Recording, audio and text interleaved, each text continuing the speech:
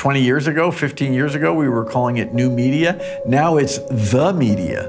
This is where everybody is.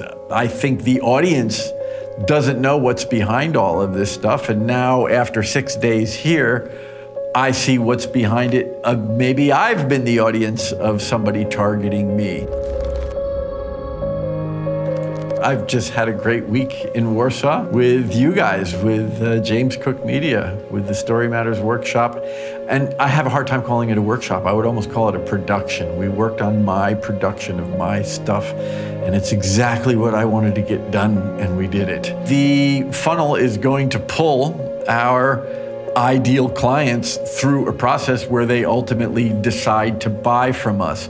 We're not selling to them, we're helping them buy. And I think the funnel helps pull them through the process to get them in a position to say, I want to buy. My mentor was a few months ahead, a few months ahead of me, still working on her project, but also uh, um, able to give me some insight to the experiences she was having and had had, as well as to ask me some questions that she very recently contemplated herself. I'm really happy with the quality of the product that I'm coming away with after these six days. So I had expectations, they were met, and they've been um, overachieved.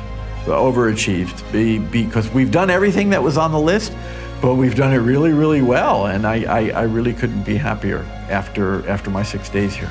You know, I always say the two biggest drivers of uh, human behavior are fear and hope.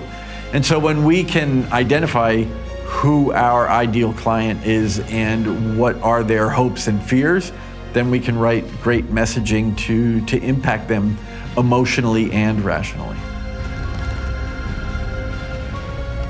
James Cook Media has a lot of depth, as we would say in, in, in, in, American English. You have a lot of depth on the bench. You have star players and you have depth on the bench. Everybody here really seemed to know what I was going for so it helped that much more in, in fulfilling on helping me make the product.